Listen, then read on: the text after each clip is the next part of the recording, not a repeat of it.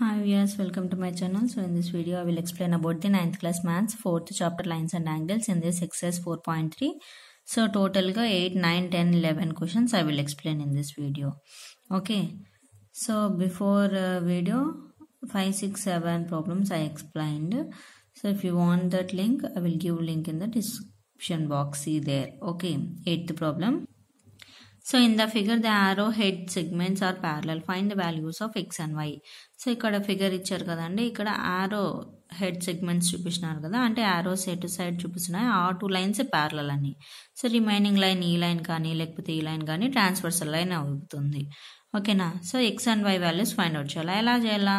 So ఈ two lines parallel కదా. ఇది తీసుకోండి ట్రాన్స్ఫర్సల్ లైన్గా ఓకేనా సో ఇది ఈ వాల్యూ ఈ లైన్ అనేది థింక్ చేయకండి ఇప్పుడు. సో ఇది this one is the interior having and this is the exterior having ఓకేనా? So these are the corresponding angles అవుతాయి కదండి. సో సేమ్ సైడ్ ఉన్నాయి. అంటే ఈ లైన్ అజ్యూమ్ చేసుకోవద్దండి. Only this angle and this angle okay x is equals to sixty degrees అవుతుంది. Corresponding angles are equal అవుతాయి. Next ఇప్పుడు ఈ టూ ప్యారల లైన్స్కే ఇది ట్రాన్స్వర్సల్గా తీసుకోండి. ఓకేనా? అంటే ఈ లైన్ థింక్ చేయకండి. సో ఈ అన్నప్పుడు ఇదేమో ఇటు సైడ్ ఉంది ఇదేమో ఇటు సైడ్ డౌన్ ఉంది. అంటే ఏమవుతాయి? యాంగిల్స్ ఇన్సైడ్ ఉన్నాయి కదా ఆల్టర్నేట్ ఇంటీరియర్ యాంగిల్స్ అవుతాయి. So alternate interior angles are equal అంటే y is equals to fifty nine degrees so that's it so from the figure y x is equals to sixty y is equals to fifty nine degrees solution అర్థమైంది కదండి?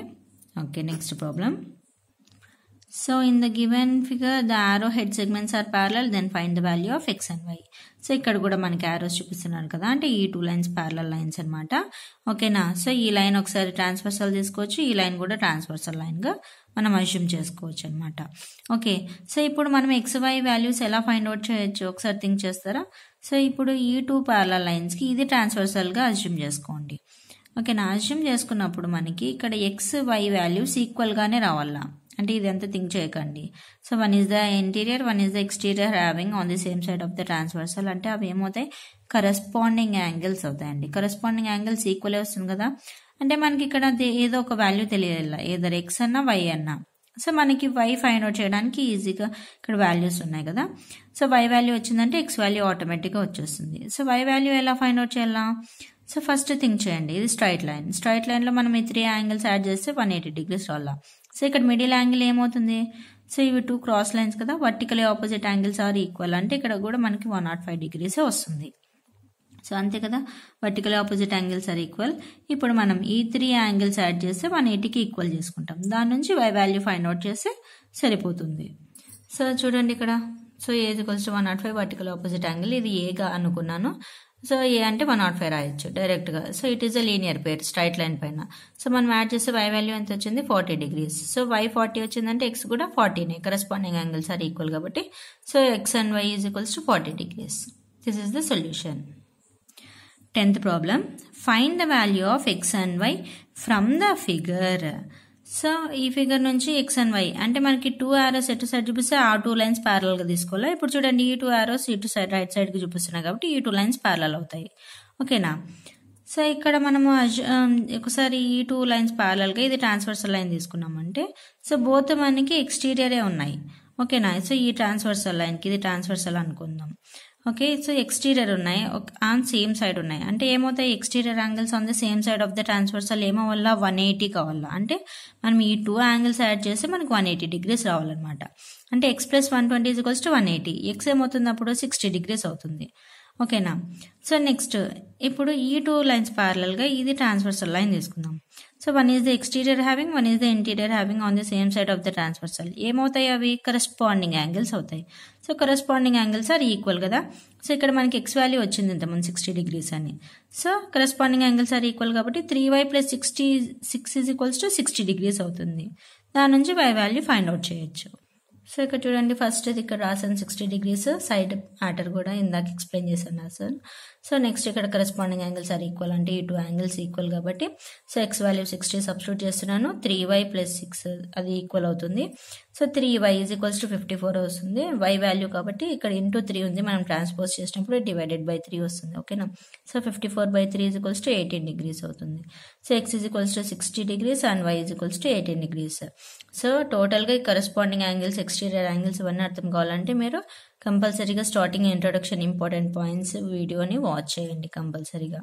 ఓకేనా next eleventh problem from the figure find x and y ఇక్కడ కూడా same అంతే అండి. X y values find out చేయాలి. So అదే మీకు కంపల్సరీగా అవి ఇంపార్టెంట్ పాయింట్స్ అర్థమైనాయి అంటే కన్నా ఈజీగా చేయొచ్చు మనకి.